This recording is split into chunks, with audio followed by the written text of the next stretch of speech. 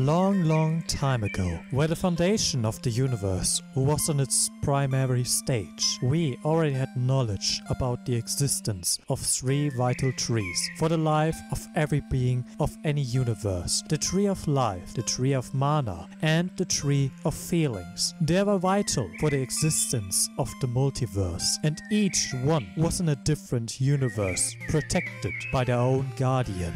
This is the story of Dreamtale, the universe where the tree of feeling lived, whose roots were apples, half black and half golden. The black one holds the negative feelings, hatred, resemblance, fear, depression, wrath, etc., while the golden ones hold the positive feelings, happiness, hope, gratitude, faith, pity, etc.